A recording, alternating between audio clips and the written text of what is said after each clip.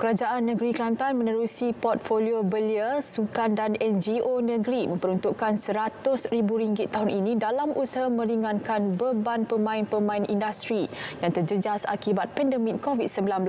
Pengerusinya Wan Roslan Wan Hamad berkata ia termasuk menyalurkan bantuan bakul makanan kepada mereka yang terlibat melalui siri jelajah yang dilaksanakan bersama Persatuan Sukan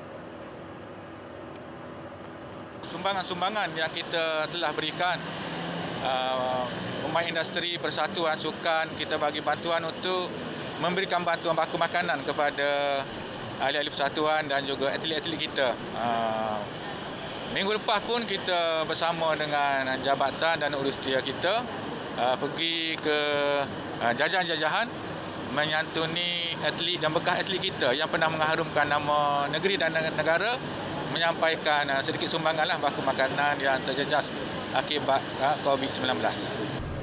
Beliau berkata demikian selepas pelancaran semarak Ma'al Hijrah 1443 Hijrah dan Bulan Kemerdekaan 2021 Negeri Kelantan. Selain itu, Wan Roslan berkata seramai 335 sukarelawan MyVac terdiri daripada urus setia belia dan sukan UBETS digerakkan di 23 pusat pemberian vaksin di seluruh negeri bagi membantu Kementerian Kesihatan melancarkan program vaksinasi.